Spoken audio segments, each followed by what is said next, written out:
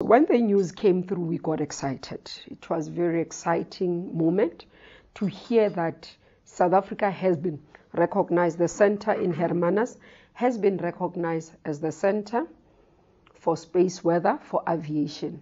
The second center is awarded to China and uh, Russia jointly. We are in South Africa doing it. And obviously, what it means for us is that we have capacity now, even to grow the center. I mean, we've had issues of aviation flights missing and all those things.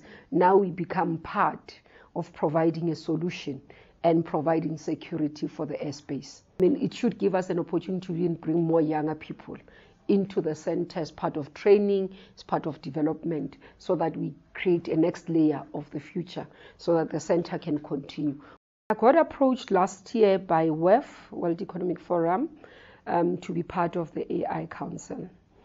Um, out of that, we've been finally approved three politicians, which is myself, Theresa May, the Prime Minister, and the Minister of Canada.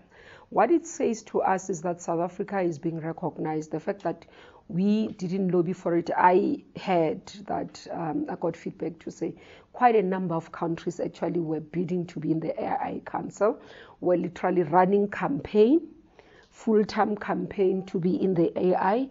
We didn't do that. We got recognized for our work, and that is extreme news. I mean, it's it's fascinating. Part of what we do is to look at advising global community on the policies, the governance in the artificial intelligence environment.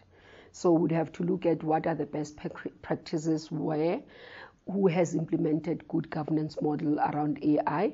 Obviously, in terms of looking at how do we enhance it, how do we make sure that it doesn't become restrictive or restricted. It's it's huge. It's a huge task because one, and, and I say it's exciting and it's good because it means we will have first hand information. And this is something that many of us would not even realize or know that South Africa is developing new technologies.